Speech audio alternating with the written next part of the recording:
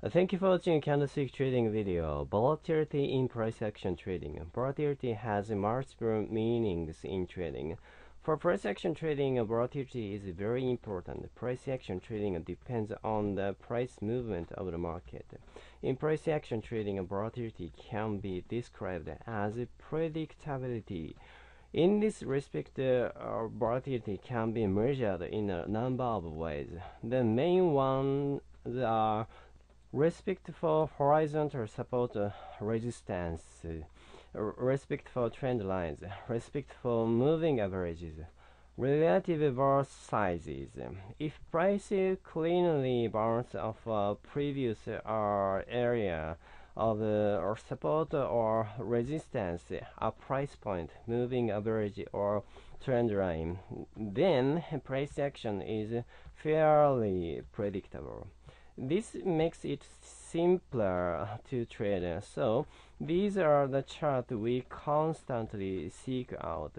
And if price breaches an otherwise strong line of support resistance, this is an early warning that price may be about to do something new. The original point here is relative bar size. If the candlestick have been historically smaller and of a similar size, this is what traders would expect in the future. If they suddenly become uh, very large by comparison or develop extended wicks, then clearly this market has become more volatile and less predictable.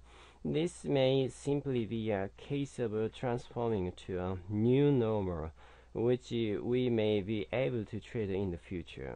But for now, it may be better to stand aside and see what develops. On the other hand, if bars have been large and become very small, it would be an indication that the momentum has run its course. Uh, Learn to judge what is normal for the chart you are analyzing. Both phenomena can often be observed at the very beginning or very end of a trend. Price is telling traders that a change is underway. Traders need to take heed and take appropriate action if necessary. Thank you.